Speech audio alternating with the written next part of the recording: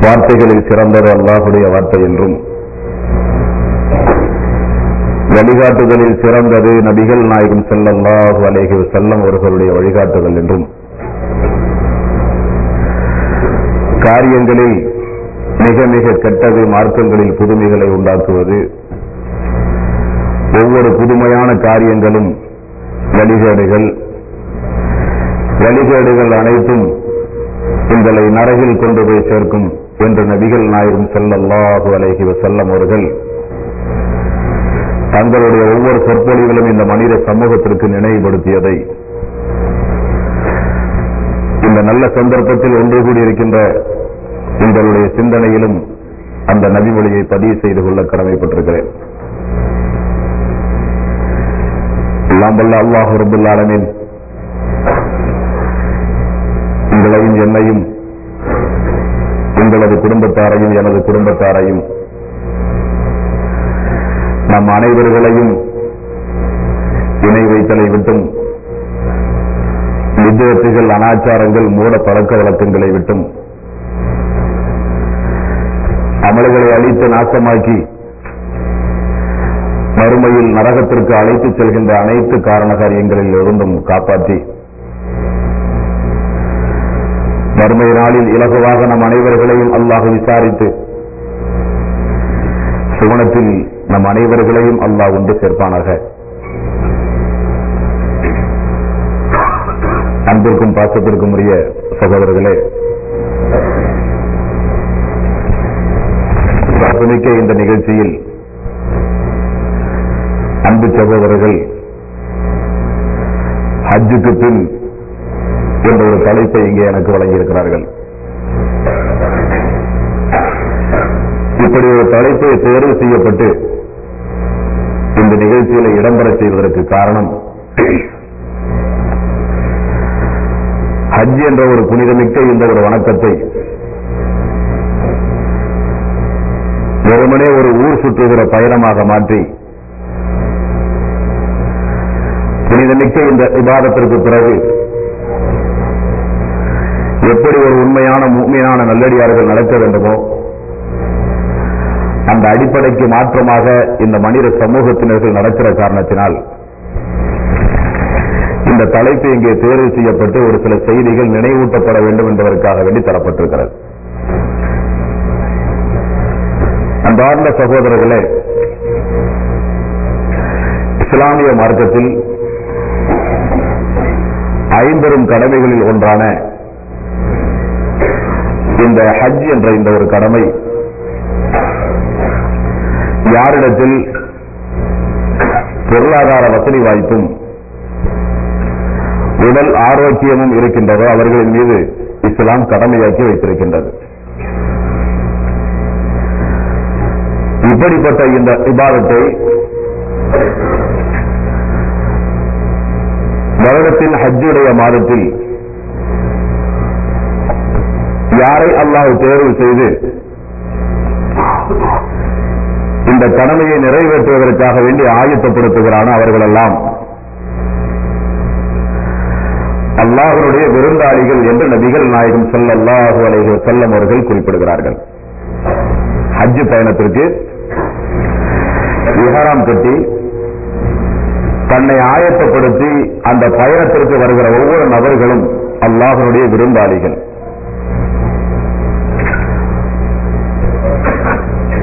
இஹராமுடைய ஆடை அடைந்து தன்னுடைய வீடு தன்னுடைய சொத்து தன்னுடைய சுகம் தன்னுடைய ஊர் தன்னுடைய உற்றார் உறவினர்கள் தன்னுடைய மனைவி தன்னுடைய மக்கள் அனைவர்களையும் பிரிந்து அல்லாஹனுடைய பாதையில் குறிப்பிட்ட ஒரு சில நாட்கள் இந்த விவாதத்தை செய்வதற்காக வேண்டி புறப்படுகிற அந்த அடியான் அல்லாஹனுடைய விருந்தாளி. நபிகள் நாயகம் செல்லல்லாஹு அலைகள் செல்லம் அவர்கள் குறிப்பிடும் பொழுது ஒப்புக்கொள்ளப்பட்ட ஹஜ்ஜுக்கு சொர்க்கம்தான் கூலி என்றும் நபிகள் நாயகம் செல்லல்லாஹு அலைகள் செல்லம் அவர்கள் குறிப்பிடுகிறார்கள். மற்ற இடத்தில் அல்லாஹனுடைய தூதர் தெளிவுபடுத்தும் பொழுது யார் இஹ்ராமுடைய ஆடை அணிந்து அதில் பேண வேண்டிய அனைத்து காரியங்களையும் பேணி அல்லாஹும் அல்லாஹுடைய தூதரும் கூறிய அடிப்படையில் அந்த ஹஜ்ஜை நிறைவேற்றிவிட்டு தாயகம் திரும்புகிறார்கள் அவர்கள் அன்று பிறந்த பாலகனைப் போல மாறுகிறார்கள் என்றும் நபிகள் நாயகம் செல்லல்லாஹடைய செல்லம் அவர்கள் குறிப்பிடுகிறார்கள். ஆக மிகப்பெரிய ஒரு பாக்கியத்திற்குரிய ஒரு அடியாராக அல்லாஹுவால் தேர்வு செய்யப்பட்டு அந்த இபாரத்தினுடைய பயணத்திற்கு பயணமாகி ஹஜ் என்ற கடமையை நிறைவேற்றிவிட்டு தாயகம் திரும்புகிற ஒவ்வொரு அன்பர்களும் ஹஜ்ஜின் பொழுது தாங்கள் நிறைவேற்றிய ஒவ்வொரு இபாரத்துகளையும் நினைவு கூறி ஹஜ்ஜுடைய காலங்களில் எப்படிப்பட்ட அனுபவங்கள் எல்லாம் நமக்கு நம்முடைய வாழ்வில் ஏற்பட்டதோ அவைகளை எல்லாம் நம்முடைய தாயகத்திலே நாம் உயிரோடு வாழும் பொழுது மரணிக்கின்றவரை நினைவு கூறி வாழ வேண்டும் என்பதற்குத்தான் இந்த தலைப்பு இங்கே தரப்பட்டிருக்கிறது அன்பார்ந்த சோர்களே. உங்களுக்கெல்லாம் தெரியும். விவாதத்துகளில் தொழுகை உண்டு நோன்புண்டு ஜக்காத் உண்டு. நிறைய விவாதத்துகள் உண்டு. ஆனால் ஹஜ் என்ற ஒரு விவாதத்திற்கு மட்டும் மனிதன் தயாராகும் பொழுது ஊரை அழைத்து விருந்து போடுவது பத்திரிகைகளிலே விளம்பரம் செய்வது ஆள் உயர போஸ்டர்கள் அடிப்பது மாலைகளை அணிந்து வீதிகளிலே வளம் வருவது அரசியல் கட்சியை ஒரு அரசியல் கட்சிக்காரர்கள் எப்படியெல்லாம் இந்த விவாதத்துகளை செய்யும் பொழுது விளம்பரப்படுத்துகிறார்கள் என்றால் நான் இந்த சந்தர்ப்பத்தில் நினைவு கூற கடமைப்பட்டிருக்கிறேன். எங்களுடைய கோயம்புத்தூரில் அம்மாவின் ஆட்சி பெற்று அஜி பயணத்திற்கு புறப்படுகிற இன்னாரை வழி அனுப்ப வாருங்கள் என்றெல்லாம் போஸ்டர்கள் அடித்து இந்த விவாதத்துகள் ஒரு பாலிட்டிக்ஸ் ஆக்கப்பட்டிருக்கிறது. காரணம் என்ன? இது ஒரு விவாதத் நம்முடைய பாவங்கள் எல்லாம் மன்னிக்கப்பட்டு அன்று பிறந்த பாலகனை போல இல்லம் திரும்புகிற ஒரு விவாதத் சொர்க்கம் தான் இதற்கு கூலி என்று அல்லாஹனுடைய தூதர் வாக்களிக்கப்பட்ட ஒரு விவாதத் அல்லாஹனுடைய விருந்தாளி என்று நபிகள் நாயகம் செல்லல்லாஹலை செல்லவர்கள் கூறிய ஒரு விவாதத் புறப்படும் பொழுது தாயகத்திலிருந்து புறப்படும் பொழுதே அவருடைய தாற்பயம் தெரியாமல் மகத்துவம் புரியாமல் இப்படியெல்லாம் அறியாமை கால மக்கள் இந்த பயணத்தை மேற்கொள்கிற இந்த காலகட்டத்தில் ஹஜ் என்றால் என்ன? அந்த ஹஜ் என்ற கிரியைக்கு பிறகு நம்முடைய வாழ்வை நாம் எப்படி அமைத்துக் கொள்ள வேண்டும் என்பதை குறித்து நினைவு கூறுவதற்கு இந்த தலைப்பு அன்பார்ந்த சகோதரர்களே.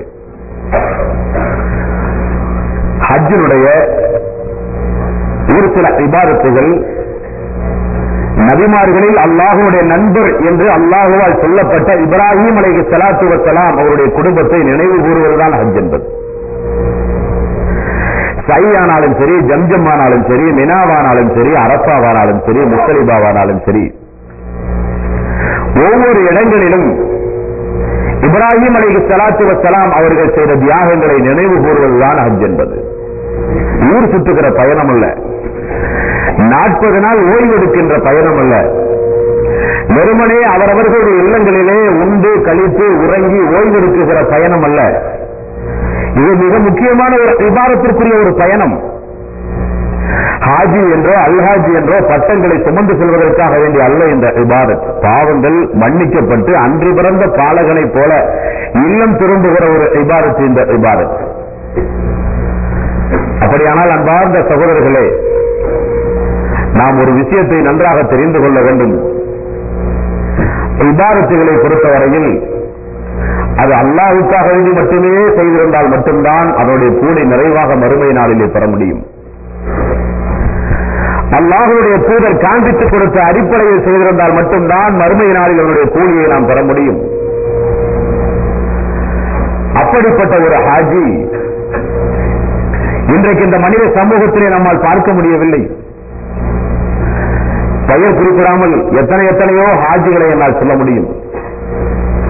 ஹஜ்ஜுக்கு வந்து செய்ய வேண்டிய கிரியைகளை குறிப்பிட்ட நாளில் செய்ய முடியாமல் வெறுமனே உறங்கி கழிக்கின்ற ஹாஜிகள் உண்டு. ஹஜ் செய்தாலும் இல்லம் திரும்பிய பிறகு தாயகம் திரும்பிய பிறகு ஐந்தாள தொழுகையை கூட முறையை நிறைவேற்றாத ஹாஜிகள் உண்டு. அல்லது ஹஜ்ஜிலிருந்து திரும்ப தாயகம் சென்ற உடனே லபைக் அல்லாஹும் லபைக் لبيك لا شريك لك لبيك إن الحمد والنعمة لك والملك لا شريك لك يا الله இதோ நான் வந்து விட்டேன் யா அல்லாஹ் யா அல்லாஹ் இதோ நான் வந்து விட்டேன்